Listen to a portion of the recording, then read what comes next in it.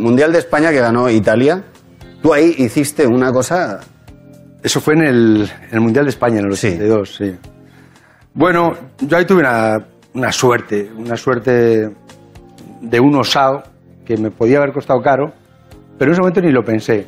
Nosotros, yo era becario, eh, estaba jugando la final eh, eh, Italia-Alemania. Lo normal es que el partido lo ganara Alemania, que tenía los mejores, estaba Breiner, Stilicke, bueno, los mejores, ¿no? Y, y de repente esa final se pone a ganar la Italia, con aquel, gol de Pablo Rossi.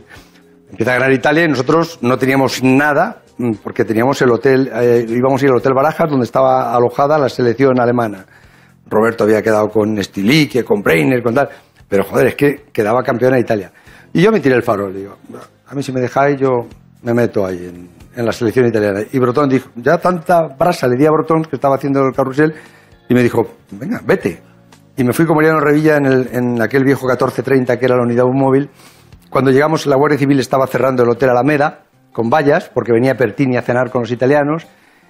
Y yo me bajé del coche corriendo, salté la valla y me encontré con el subdirector del hotel que era de mi pueblo. Es puta suerte, porque es así. Oye, ¿qué haces aquí? Yo, "Guay, soy periodista ahora. Hombre, José Ramón, eres periodista. Pasa, pasa. Y me metió al hotel. Me metió al hotel y me dijo, mira, mm, te voy a enseñar dónde van a cenar, lo que van a cenar, pam, pam. Yo llamé a la radio le dije, ya estoy dentro, me he metido dentro. Él enseguida como yo dice, no, no, te tienes que ir ahora mismo, ¿eh? te tienes que ir ya. Sí, sí.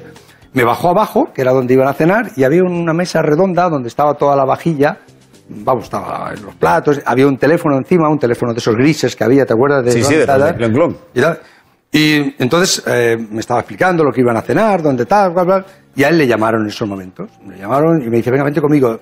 A mí él me metió con una chaquetilla de camarero porque la Guardia Civil no dejaba pasar a nadie. Me metió con una chaqueta de camarero para enseñarme el sitio. Un espía total.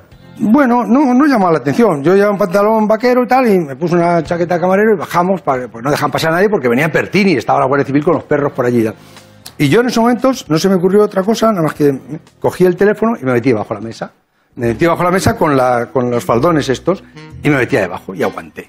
Aguanté, aguanté, aguanté. Empezaron a llegar los jugadores, empezó a llegar otra vez más Guardia Civil, que dieron... Y yo ahí aguantando, aguantando, llamé, llamé desde abajo, y había que llamar al botón, coger el cero y, da- y llamé a Botines y le dije, oye, mira que estoy aquí debajo de la mesa. Entonces, Botines empezó, joder, la que al- ven, te meto ahora mismo en la antena. Digo, no, no, no me metas en la antena porque yo había visto pasar las botas de la Guardia Civil, de los guardias civiles por debajo. Digo, joder, como me saquen de aquí me pegan un tiro, eran los tiempos de ETA. Y digo, no, no, no, no, no, venga chaval, sal, sal. Yo decía que no salía ni queriendo. Y entonces él decía, tenemos un enviado especial en la cena, debajo donde está cenando Pertini. Bueno, yo no estaba debajo de la mesa de Pertini, era una mesa como esta, Sí. las mesas estaban alrededor.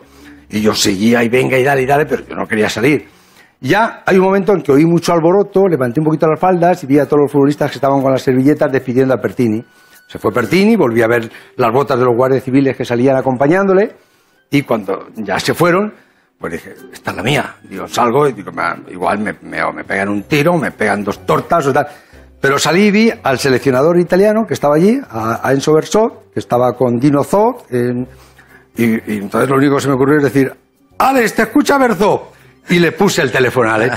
Y el, y el otro, me acuerdo que estaba encendiendo una cachimba de nácar blanca, estaba, le entró tal ataque de risa cuando me vio salir con un teléfono debajo de la mesa, le entró tal ataque de risa que, que, joder, empezó a salir un humo y tal. Y bueno, pues bien. Y, y a los dos, esa semana, Vicente Marco me hizo de nómina.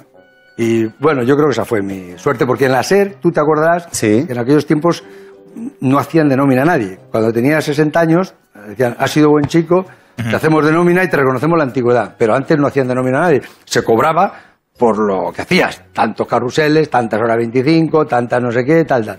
Y me hicieron de nómina. Joder, macho. Eh, y ahí empezó todo. Qué historia. Sí. Qué historia.